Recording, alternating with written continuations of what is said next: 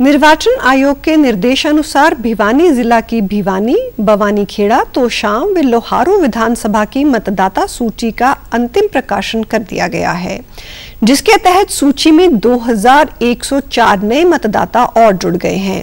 अब भिवानी जिला में मतदाताओं की कुल संख्या आठ लाख पिचहत्तर हज़ार नौ सौ दो हो गई है, जिसमें चार लाख बासठ हज़ार से अधिक पुरुष व चार लाख तेरह हज़ार से अधिक महिला मतदाता शामिल हैं।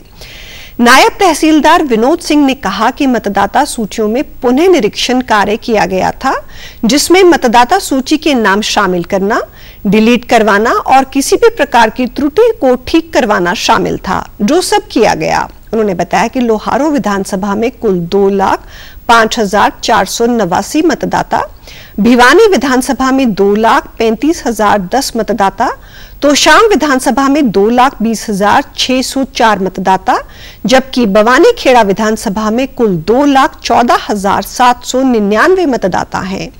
भिवानी जिला में कुल छह थर्ड जेंडर हैं जिनमें से लोहारू में दो भिवानी में तीन व तोशाम में एक है।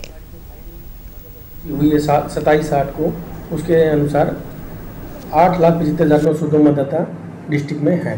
भी कोई मतदाता जिसका नाम मतदाता सूची में रह गया हो, नहीं है, अपनी मतदाता सूची का अवलोकन कर ले और जो कि बी के पास भी उपलब्ध है और हमारे सी हरियाणा की वेबसाइट है, उस पर भी है, ऑनलाइन भी देख सकते हैं। अगर किसी मतदाता का नाम नहीं है मतदाता सूची में तो दो तारीख तक हमें फॉर्म भर के दे सकता है। लोहारू हल्के में इसी तरह एक लाख सात हज़ार नौ सौ सतानवे मेल सतानवे हज़ार चार सौ बानवे फीमेल, टोटल दो लाख पाँच हज़ार चार सौ नवासी मतदाता लोहर विधानसभा में है।